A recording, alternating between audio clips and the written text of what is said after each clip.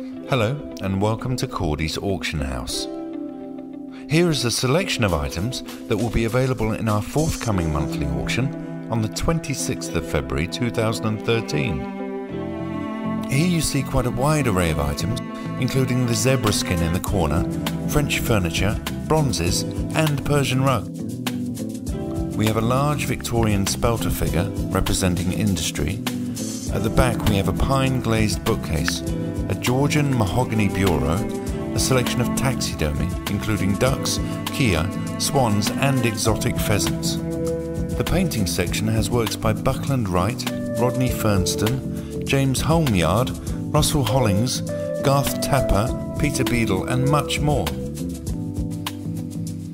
In this cabinet, we see a good range of estate and collector's jewellery, wristwatches, and a good selection of carriage clocks.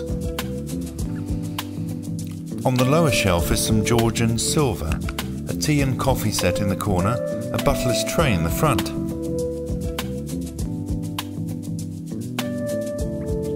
In this cabinet, we're showing a Georgian 12 place silver fiddle, thread and shell cutlery set. On the top shelf, a number of various decanters, candlesticks, sugar bowls, coffee pots, and other items.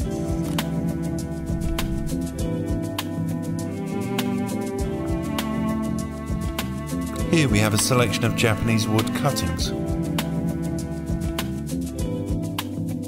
In this auction we have a fine set of porcelain and stoneware for masons, Majolica, Moorcroft, Royal Worcester, plus a fine selection of Royal Doulton nursery china, including a rare biscuit casket made for Huntley and Palmer's.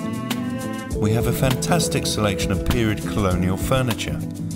One feature of the auction is this governess cart in full working order. And finally, we have some antiquities from Britain's African colonial outposts, including tribal masks, carved ivory, tusks, gold and ivory walking stick, and a leopard skin.